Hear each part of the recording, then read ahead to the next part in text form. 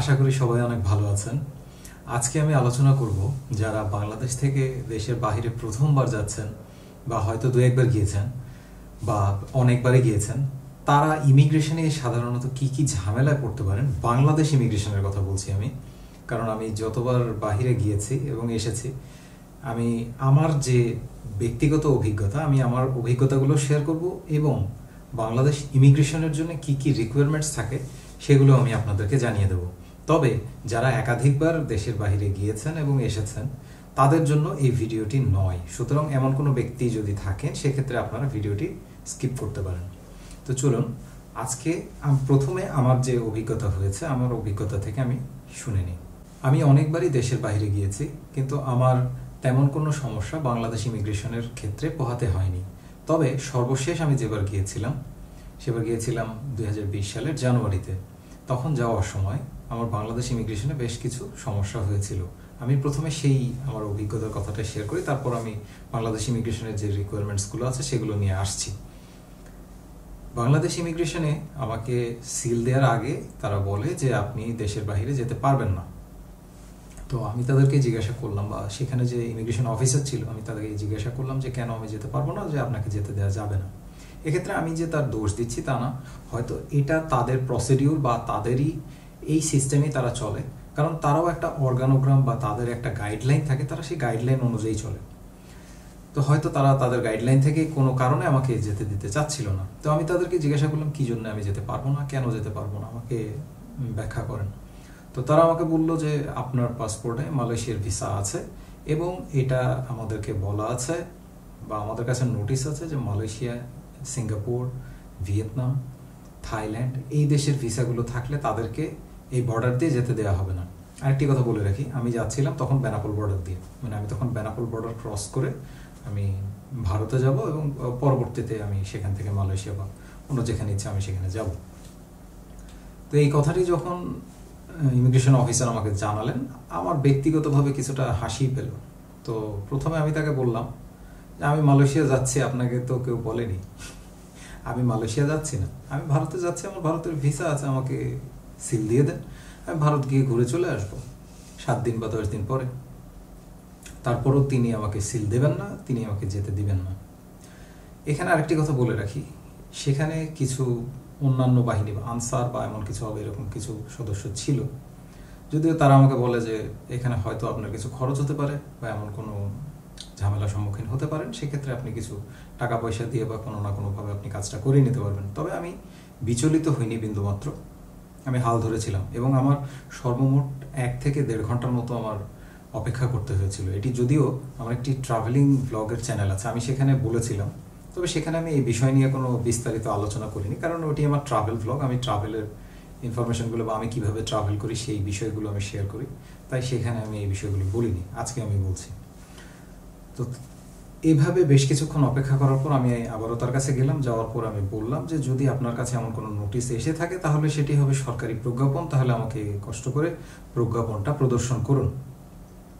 তো তখন তিনি আমাকে অপেক্ষা করতে বললেন আবারও এবং পরবর্তীতে তিনি আমাকে সেই প্রজ্ঞাপনটি দেখালেন। সেই প্রজ্ঞাপনটি যখন আমি তার সামনে ধরলাম, ধরে আমি তাকে রিডিং পড়ে শোনালাম যে, দেখুন, এখানে স্পষ্টভাবে লেখা আছে যে, বাংলাদেশ থেকে বহিরাগতদের ক্ষেত্রে যাদের সিঙ্গাপুর মালয়েশিয়া, ভিয়েতনাম, থাইল্যান্ড এই দেশের ভিসাগুলো যাদের থাকবে, তাদেরকে যাতে পরিপূর্ণভাবে যাচাই করে তারপরে যেতে দেয়া হয়। এই জাতীয় কথাগুলো শুদ্ধ ভাষায় লেখা ছিল। মূল কথা হচ্ছে এটি যে এই দেশগুলোর ভিসা যাদের থাকবে, তাদেরকে যাতে ভালোভাবে চেক করে তাদের ভিসা এবং তাদের প্রকৃত ভিসা আছে কিনা বা তারা প্রকৃতই কাজে যাচ্ছে কিনা বা ট্যুরিস্ট ভিসা নিয়ে কেউ কাজ করতে যাবে কিনা বা অবৈধ হয়ে যাবে কিনা এই জন্য তাদের ব্যাকগ্রাউন্ড বা তাদের সব বিস্তারিত সবকিছু চেক করে তারপরে যেতে দেওয়ার কথা বলা হয়েছে। কিন্তু কোথাও বলা হয়নি যে তাদেরকে যেতে দেওয়া যাবেই না। তো পরবর্তীতে এটি যখন আমি তাকে বোঝাতে সক্ষম হলাম, তো পরবর্তীতে আবারও তিনি কিছুক্ষণ আমাকে অপেক্ষা করতে বললেন এবং তখন আমি সেখানে ইনফর্ম করলাম যে, দেখেন, আপনার যদি সমস্যাই হয়, আপনার ইমিডিয়েট কোনো বস থাকলে আপনি তাকে বলতে পারেন বা আমি তার কাছে গিয়ে কথা বলতে পারি। আর আপনি প্রয়োজনে আমার ভিজিটিং কার্ড নিন, আমার এনওসি লেটার দেখুন, আর তারপরে আমার অফিসে ফোন দিয়ে দেখতে পারেন যে আমি সেখানকার, আমি সেখানে চাকরি করি কিনা, বা আমি সেখানে আমি কর্মরত আছে কিনা, বা আমি সেখান থেকে ছুটি পেয়েছি কিনা। কোনোভাবেই তিনি কনভিন্স হন না। তো লাস্ট যখন আমি বললাম যে আপনার ইমিডিয়েট কোনো বস বা আপনার উপরস্থ যে যিনি কর্মকর্তা আছেন, তার সাথে আমি কথা বলতে চাই, আমি তাকে বলে বিষয়টি সমাধান করতে চাই। তো পরবর্তীতে উনি শেষ পর্যন্ত আমাকে সিল দিয়ে দিলেন। যাই হোক আমি এজন্য ওনাকে কোনো দোষ দিচ্ছি না, কারণ এটা হয়তো তাদের ইনস্ট্রাকশন বা তাদের গাইডলাইন এভাবে দেওয়া ছিল বা তারা এই অর্গানোগ্রামে চলে। তো আপনারা হয়তো এরকম বিভিন্ন রকম বিভিন্ন সমস্যায় পড়তে পারেন। তবে প্রথম কথা হচ্ছে, এবারে আমি বলছি সমস্যা থেকে সমাধানের উপায় বা ইমিগ্রেশন কীভাবে ক্রস করতে হয়। বিশেষত আমি প্রথম থেকে বলে আসছি যে প্রথম দিকে যারা যাবেন, যাদের হয়তো একবার দেশের বাড়ি গিয়েছেন বা একবারও যাননি, একদম ফ্রেশ পাসপোর্ট প্রথমবারের মতো দেশের বাহিরে যাচ্ছেন। বিশেষত এই বিষয়গুলো তাদের জন্য বেশি প্রযোজ্য হবে।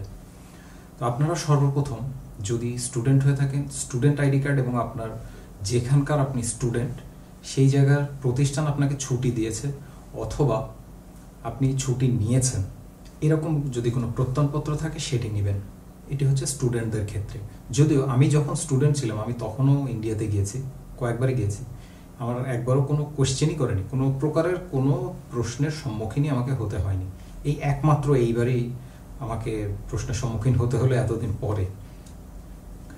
এরপরে আসছি যারা চাকরি করেন। যদি কেউ সরকারি চাকরি করেন, সেক্ষেত্রে সরকারি চাকরির ক্ষেত্রে গভর্নমেন্ট অর্ডার বা অনেক রকম যে পদ্ধতিগুলো থাকে, সেটা যারা চাকরি করেন, তারা তাদের অফিস থেকে নিয়ে নেবেন। আর তাছাড়া যারা বেসরকারি চাকরি করেন তারা এনওসি নেবেন অফিস থেকে এবং এনওসিটা ভিসা নেওয়ার সময় দেখা যায় জমা দিয়ে দিতে হয়, সেক্ষেত্রে আপনারা সেই এনওসির একটা কপি রেখে দেবেন অথবা নতুন করে আপনারা যেই ডেটে ট্রাভেল করবেন, সেই ডেটে একটি এনওসি বানিয়ে নেবেন বা সেই ডেটের একটি এনওসি নিয়ে তারপর আপনারা ট্রাভেল করবেন। এনওসিতে থাকলে এবং আপনার অফিসের ভিজিটিং কার্ড থাকলে সেক্ষেত্রে প্রশ্নের সম্মুখীন আপনাকে হয়তো হতে হবে না। এরপর যারা ব্যবসায়ী আছেন, তারা তাদের ট্রেড লাইসেন্সের একটি স্ক্যান কপি বা ফটোকপি বা আপনারা ছবি তুলে রাখবেন। সেক্ষেত্রে আপনারা প্রদর্শন করতে পারবেন যে আপনি একজন ব্যবসায়ী, বাংলাদেশের আপনি স্থায়ী নাগরিক বা স্থায়ী বাসিন্দা। সর্বমোট মেইন কথা হচ্ছে এটি যে আপনি যদি প্রমাণ করতে পারেন আপনি এদেশের স্থায়ী নাগরিক, এখানে আপনি থাকবেন, আপনি কোথাও গিয়ে অবৈধভাবে থেকে আসবেন না। তাহলেই আপনাকে এখান থেকে কোনোভাবেই কোনো দ্বিতীয় কোনো প্রশ্ন করারও কোনো উপায় পাবে না বা তাদেরও কোনো, আমার মনে হয় যে রাইট নেই দ্বিতীয় প্রশ্ন করার। হ্যাঁ আরেকটি বিষয় আছে, যদি কোনো ব্যক্তি কোনো ওয়ান্টেড বা সন্ত্রাস বা যে কোনো রকম অসামাজিক কাজে লিপ্ত থাকে বা কারণ আমি যদি পুলিশি কোনো জটিলতা থাকে, তাদের বিষয়টি সম্পূর্ণই আলাদা। আমি তাদের কোনো বিষয় বলছি না। আমি একদম সাধারণ যারা মানুষ, সাধারণ যারা ভ্রমণকারী, আমি তাদের উদ্দেশ্যেই কথা বলছি। তা, এবং তাদের ক্ষেত্রে আমার যেটা মনে হয়, এই কাগজপত্রগুলো যদি আপনার সাথে থাকে, তাহলে আর আপনার কোনো সমস্যা হবে না। আরেকটি কথা বলি। দেখা যাচ্ছে প্রথম প্রথম অনেক মানুষই পাসপোর্টে কোনো ভিসাই নেই, কিন্তু আপনারা নেপাল যাচ্ছেন।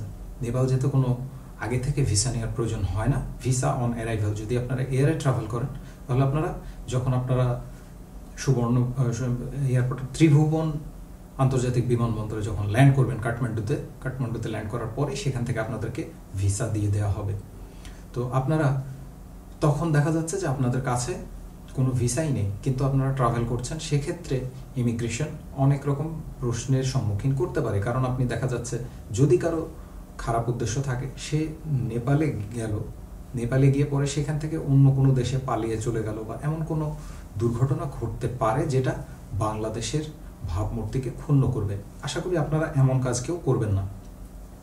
তো এই জন্যই ইমিগ্রেশনে অনেক রকম প্রশ্ন করা হয়। তো সেক্ষেত্রে আপনারা সর্বোপরি এই বিষয়গুলোতে আপনারা স্ট্রিক্ট থাকবেন যে আমি এই দেশটা হচ্ছে আমার জন্য ভিসা ফ্রি আর আপনি প্রয়োজনে আপনার যে হোটেল বুকিংগুলো থাকবে, সেই হোটেল বুকিংগুলো আপনারা ওখানে শো করবেন।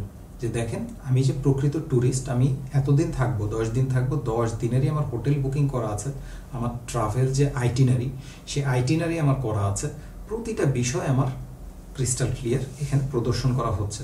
এগুলো যখনই ইমিগ্রেশন অফিসার আপনাকে প্রশ্ন করবে, আপনি সাথে সাথে দিয়ে দিবেন যে আমি ট্যুরিজমের জন্য যাচ্ছি, আমি এতদিন থাকব, থাকার পর আমি চলে আসব। তারপরে হয়তো আপনাকে জিজ্ঞাসা করবে যে আপনি কি করেন দেশে দেশে কে কে আছে? আপনি সেই বিষয়ে আপনি সেভাবে জানিয়ে দেবেন। আর আরেকটি কথা বলে রাখি, যদি আপনার সাথে ফ্যামিলি যায়, আপনার মা বাবা হতে পারে, আপনার ভাই বোন হতে পারে, আপনার স্ত্রী হতে পারে, আপনার স্বামী হতে পারে বাচ্চা কাচ্চা হতে পারে, যারাই হোক না কেন, যদি ফ্যামিলি যায়, সাধারণত ফ্যামিলি গেলে কোন ইমিগ্রেশনে তেমন কোনো বেশি একটা কোশ্চেন করে না বা বেশি ঝামেলা করে না। কারণ ফ্যামিলি নিয়ে যখন যায়, তখন যে কোনো ইমিগ্রেশন অফিসারও বোঝে যে ফ্যামিলি নিয়ে কেউ দুর্নীতি বা কোনো অনৈতিক কাজের জন্য কেউ যাবে না। তো আমি আমার অভিজ্ঞতাগুলো শেয়ার করলাম। আপনাদের কেমন কি অভিজ্ঞতা হয়েছে? আপনারা কমেন্ট বক্সে আপনাদের অভিজ্ঞতাগুলো জানাবেন। আপনাদের অভিজ্ঞতাগুলো দেখতে আমারও ভালো লাগবে। তো আজ এই পর্যন্তই। সবাই ভালো এবং সুস্থ থাকবেন। সেই কামনায় আজকের মতো বিদায় নিচ্ছে।